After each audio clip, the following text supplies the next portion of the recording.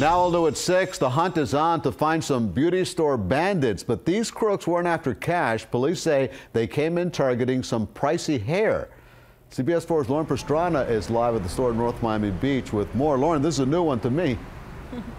It really is, Elliot, and it seems these people were after a specific brand of hair extensions that tend to be on the more expensive side. But what they stole isn't as strange as who stole it. Cops say they are looking for four minors, one a boy just eight years old.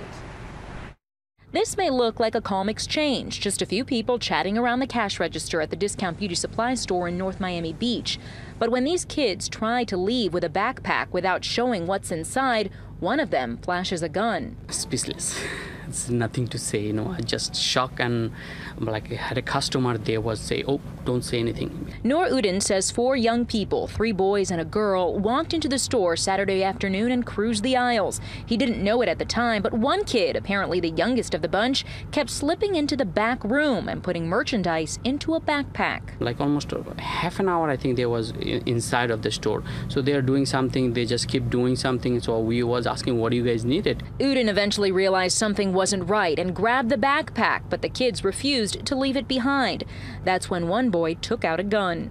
I just let him in because my cousin was trying to hold on. I said, no, let him go because he got a gun. So we don't want to get in like, you know, any damage to like anybody. Udin says they got away with $5,000 worth of hair extensions. He thinks they knew exactly what they were looking for because they only took this particular brand, which retails for more than $100 per pack.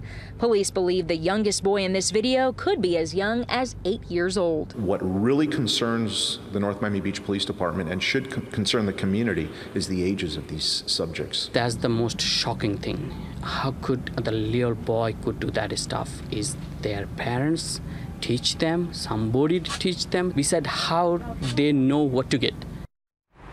And police believe the oldest person in that video is only 17 years old. Anyone with information about this case should contact Miami-Dade Crime Stoppers. That number is 305-471-TIPS.